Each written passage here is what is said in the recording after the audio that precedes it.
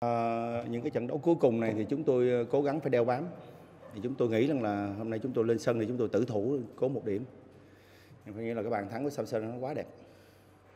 Thì tôi nghĩ là 3 điểm này nó có lợi là vì tôi mới nghe cái kết quả là ờ, Sông Lam lại thắng Đà Nẵng. Thì đó, nó có một cái chút giờ lợi lợi thế lợi thế cho chúng tôi. Ờ, với hâm mộ ở nhà thì có nói là hôm nay Hoàng Gia Lai đã hiền có? Không không hiền vì tôi nghĩ rằng là với một đội bóng đã trụ hạng cái thành tích tốt rồi đá với một cái đội bóng mà đang khác điểm như thành phố Hồ Chí Minh tử thủ. Thì ờ, thì ờ, nó khác nó nó nó, khác, nó nó sẽ rất là khó khăn cho cái đội mà mà mà, mà, đã trụ hạng mà không mà trụ hạng thì họ thoải mái rồi. Còn chúng tôi là đang ở bên ờ, đằng sau lưng là vực. Thì chúng tôi vào trận với mà với với cái cái tiếp cận trận đấu là chúng tôi đã phòng ngự phản công và đã rất là quyết liệt. Kết quả của trận này khiến cho giúp cho thành phố Hồ Chí Minh dễ dàng hơn không đặt mục tiêu như thế nào trận đấu cuối cùng? trận cuối cùng thì như tôi vừa nói là chúng tôi sẽ cố gắng tôi đá một cái trận tự thủ nữa. Mà đá sân nhà mà để mà để cố gắng một có một điểm thì tôi nghĩ rằng là chúng tôi sẽ làm được.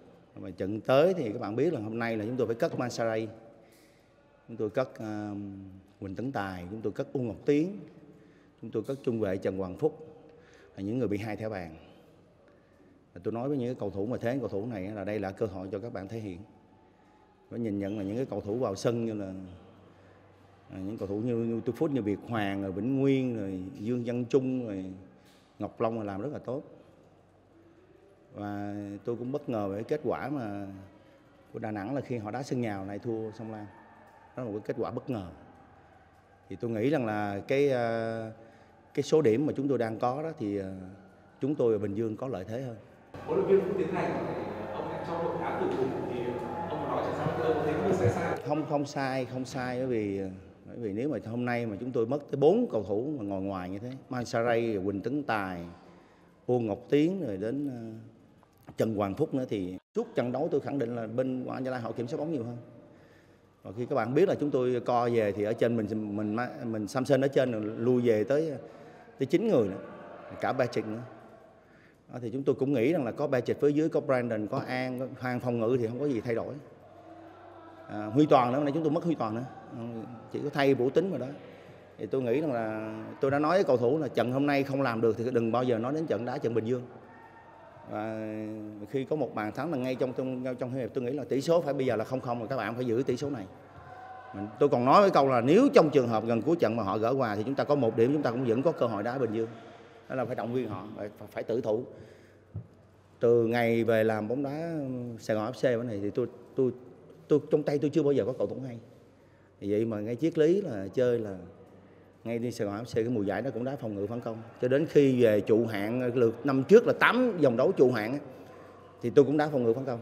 Và cho đến giờ cũng vậy, vì cái thời gian vừa qua thì cái số tôi nó không có may mắn có những cái cầu thủ mà để kiểm soát đá.